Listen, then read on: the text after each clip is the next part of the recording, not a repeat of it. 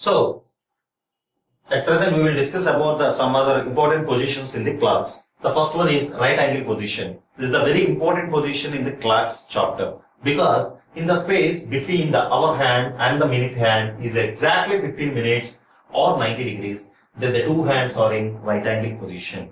Again I will repeat. In the space between the hour hand and the minute hand exactly 15 minutes or the 90 degrees then the position is called in right angle position.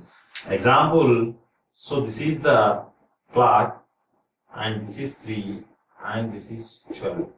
So this type of position is called right angle position or 15 minutes.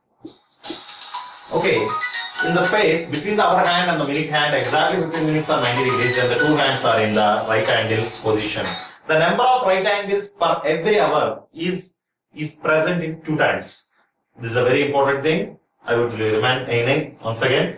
The number of right angles every hour is two times. So in every one hour, you will show two right angles is there. That means in two to three, three o'clock, and but in the but in between the two o'clock and four o'clock, the number of right angles is three because 3 o'clock is the common right angle.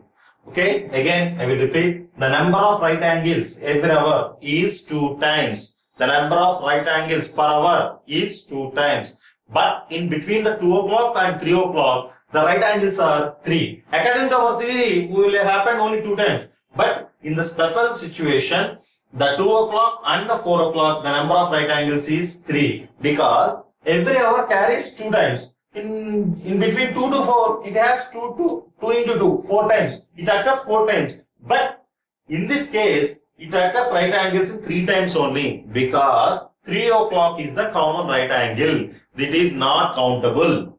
So in between 2 o'clock and 4 o'clock the number of right angles is only 3 because of that 3 o'clock is the common right angle. Common right angle times 3 o'clock and the 9 o'clock are not countable in between the hours duration so again in the right angle position means the gap between the hour hand and the minute hand is exactly 90 degrees or the time is taken to 15 minutes. The two hands are in the right angle position. The number of right angles per hour is two times.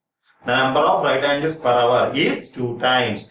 But in the special situation, 2 o'clock to 4 o'clock, the number of right angles is 3. Because the 3 o'clock is the common right angle. And the 3 o'clock and the 9 o'clock is the common right angle that is not countable.